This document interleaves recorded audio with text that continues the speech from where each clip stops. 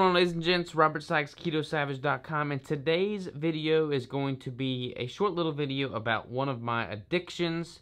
I don't have many, but I do have one, and that is caffeine. I feel like, if we're being honest with each other, a lot of us are probably addicted to caffeine. We all like our morning cup of coffee. All y'all know I'm addicted to Starbucks. I drink way too much coffee, and you know it. I'm guilty as charged. However, what am I going to do about that? Let's talk about it. First, let's talk about the problem. So, how much caffeine do I consume in a day? I didn't really know until I crunched the numbers and it scared me. So I wake up, 3 o'clock in the morning, I have my vitamins and minerals. With those vitamins and minerals, I have one of these. This is a 200 milligram caffeine tablet. Now, 200 milligrams of caffeine, that's not too bad. Have that with my vitamins and minerals. Well, that's not too bad, Robert. What else do you have? Let me tell you. Start making coffee after that. And I have Death Wish coffee that focuses. Now, you know there's some serious caffeine in your coffee when it's got a warning label on back with the text, the world's strongest coffee. Now, I don't know if that's true or not, but I did some Googling, and Google is always right. So apparently, one cup of Death Wish coffee has 600 milligrams of caffeine. I have three cups. So, right now we're at about 2,000 from the, the coffee. Actually, no, we're at 200 from the caffeine pill, plus three cups of coffee at 600 milligrams each. That puts us at 20 or 2,000 milligrams of caffeine for the day already. It hadn't even been 4 o'clock yet.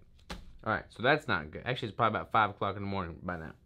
Then I come back for making my coffee, drinking my coffee, and going on a quick little ride and starting the day with Crystal well, it's time to work out now. So what do you do when you work out? You have a pre-workout. That makes sense, right? So, that's my pre-workout. I actually really do like this pre-workout. I don't get any crazy bad adverse after effects at all. But I have two scoops of this. So if you can read this, I don't know if that's going to focus. But two scoops of Rari Nutrition contains 350 milligrams of caffeine. So, you plug that in, right now I'm at 2,350 milligrams caffeine. But that's not all. I've been drinking some of these lately. Mio Energy. So I have my, my cup of crushed Sonic Ice as a filler. It's kind of like a zero calorie snow cone. I'll put a little bit of that in there. And they, they have non-energy stimulating, no caffeine Mios, but for some reason the ones with caffeine just taste better. So I have some of this in my water. And these don't last too long when you're just squirting it in ice. So I probably have like, there's 18 servings in here. Each serving is 60 milligrams per squeeze. So I probably have like six servings worth per ice cup of ice. Uh, so that would be another quite a bit. We're looking at about 2,710 milligrams of caffeine. Plus, I have an afternoon coffee. So let's just round it out to an even 3,000 milligrams of caffeine a day. There's my math, not counting that fourth afternoon coffee. So I think it's fair to say I'm probably consuming around 3,000 milligrams of caffeine a day. That's not good. And by honestly, by the end, by the end of the day, by the afternoon, by midday, like I can have that fourth cup of coffee and I don't even feel anything from it because my body's so cracked out on caffeine, it's not going to have an effect.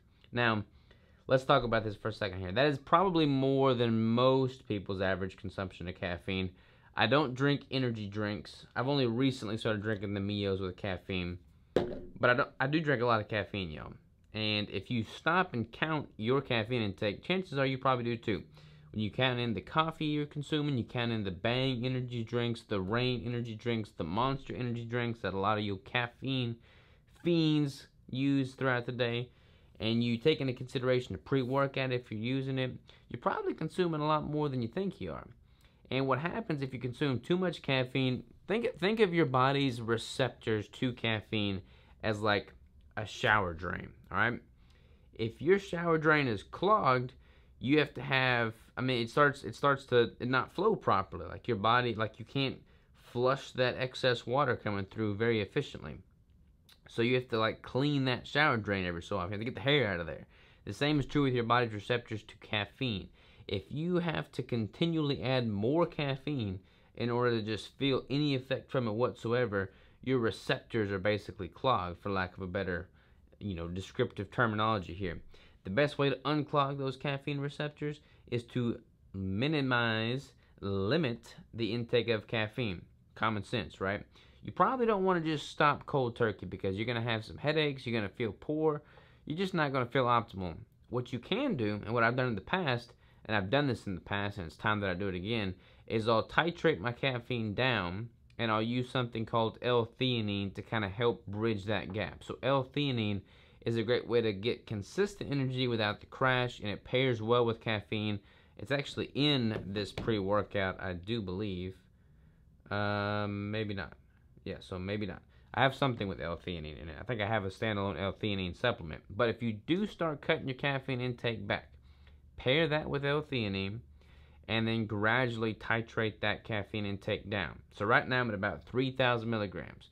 Starting tomorrow, I'm going to cut, what am I going to cut? I'm going to cut my caffeine pill. I'm going to, I'm going to do no, no Mio. So no Mio for me tomorrow. And then I'm probably only going to do one scoop of the pre-workout. So, I'm not going to give up my coffee just yet.